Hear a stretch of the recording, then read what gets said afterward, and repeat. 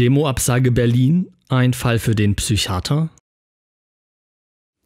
Bereits am 1. August 2020 demonstrierten mehrere 100.000 Menschen verschiedenster Hintergründe friedlich in Berlin. Sie forderten die öffentliche Anhörung von Wissenschaftlern, die eine andere Meinung zur Corona-Problematik vertreten, in Gegenüberstellung zu den favorisierten Experten der Regierung. Außerdem forderten sie das Ende der völlig überzogenen Maßnahmen. Nachdem die Kundgebung auf der Straße des 17. Juni von der Polizei vorzeitig beendet worden war, stand für die Initiatorin von Querdenken 711 bald danach fest, erneut eine Demo in Berlin für Frieden und Freiheit und für die Erhaltung der Grundrechte anzumelden, und zwar für Samstag, den 29.08.2020. Am 26.08.2020, also nur drei Tage vorher, wurde diese zweite geplante Demonstration vom Berliner Senat verboten. Am gleichen Tag äußerte sich der deutsche Außenminister Heiko Maas zur gleichen Thematik in einer Pressemitteilung, allerdings zu den momentan stattfindenden Großdemonstrationen in der weißrussischen Hauptstadt Minsk. Mit den täglich zunehmenden Repressionen gegen friedliche Demonstranten stellt sich die Führung in Minsk immer weiter ins Abseits. Diese mutigen Bürgerinnen und Bürger gehen auf die Straßen ihres Landes gegen Wahlfälschung und für ihr verbrieftes Recht auf Freiheit und demokratische Teilhabe. Sie fordern dabei nicht mehr, aber auch nicht weniger als einen offenen Dialog mit ihrer eigenen Staatsführung. Auch die Bundeskanzlerin sowie ihr Pressesprecher Seibert äußerten sich am selben Tag mit identischen Aussagen. In Minsk bezeichnet unsere Regierung die Menschen, die für ihre freiheitlichen Rechte auf die Straße gehen, als mutige Bürger. Ihrer eigenen Bevölkerung dagegen verwehrt sie dieses Recht, für Freiheit auf die Straße zu gehen.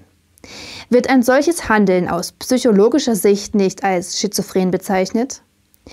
Der österreichische Neurowissenschaftler und Psychiater Raphael M. Bonelli beschäftigt sich in dem nachfolgenden Video ebenso mit der Frage der psychischen Gesundheit unserer Regierung. Bonelli ist Mitbegründer des Instituts für Religiosität in Psychiatrie und Psychotherapie mit Sitz in Wien. Auf dem YouTube-Kanal RPP Institut äußerte er sich am 26. August 2020 zum Verbot der Demo in Berlin und bescheinigt unserer Regierung unter anderem auch eine narzisstische Störung, die seiner Ansicht nach dringend psychiatrisch behandelt werden sollte. Doch hören Sie selbst. Liebe Freunde, ich habe ähm, soeben erfahren, dass diese Großdemo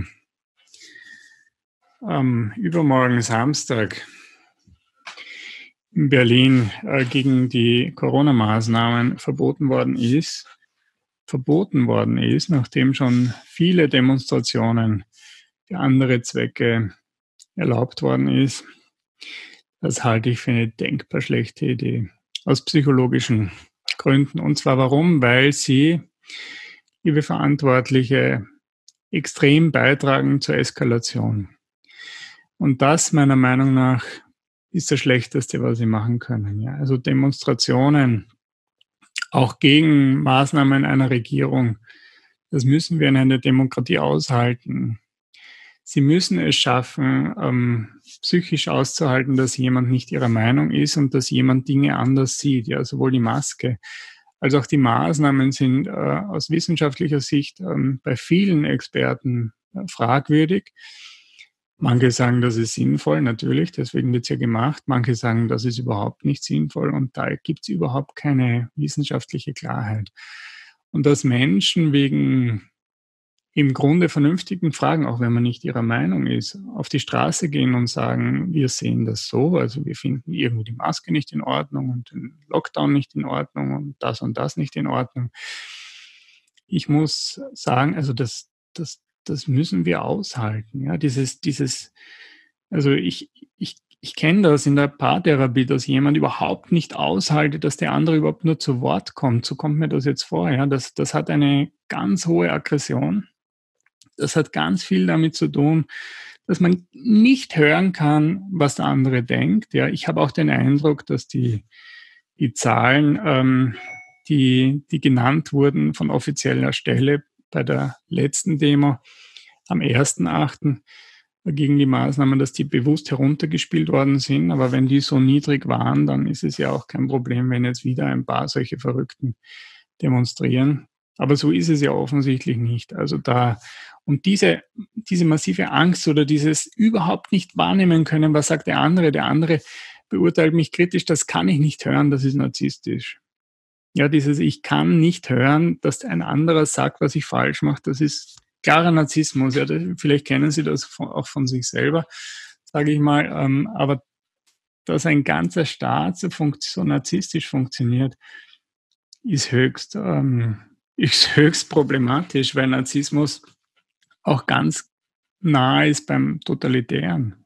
Ja, verstehen Sie? Also ich meine, wenn man nicht mehr sagen darf, dass jemand, ähm, dem man die Staatsmacht geborgt hat. Ja, man, man, man, wählt ja immer nur für ein paar Jahre und gibt man ihm halt die Staatsmacht, die man ihm dann auch wieder nimmt. Ja, und dann gibt man es halt dem Nächsten. Ja. Demoabsage Berlin, kann, ein Fall für den Psychiater. Macht, dann ist er falsch in der Demokratie.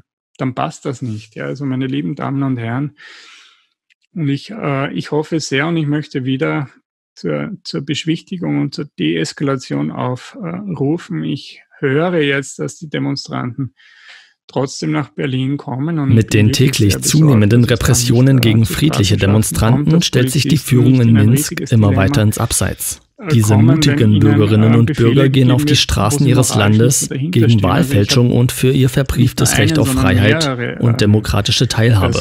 Sie fordern dabei nicht mehr, aber auch nicht weniger als einen offenen Dialog mit ihrer eigenen Staatsführung. damit haben, was ihnen da vorgegeben wird von Staatsseite und die eigentlich sehr sympathisieren mit den Demonstranten, also dass sie, also dass sie dann mehr oder weniger mutwillig eine, fast eine, also gefühlt eine Bürgerkriegsstimmung hervorrufen, das ist grob fahrlässig. Also das kann ich wirklich als Psychiater nur verurteilen. Tun Sie das nicht, nehmen Sie das zurück, lassen Sie diese Leute demonstrieren. Ja, also man demonstriert für alles Mögliche, was, was schon für Spinnen auf der Straße waren wegen irgendwas das ist doch harmlos. Wieso halten Sie das nicht aus? Das, das sind halt irgendwelche Leute, ja, ein paar tausend, sind es halt wieder 20.000 wie beim letzten Mal.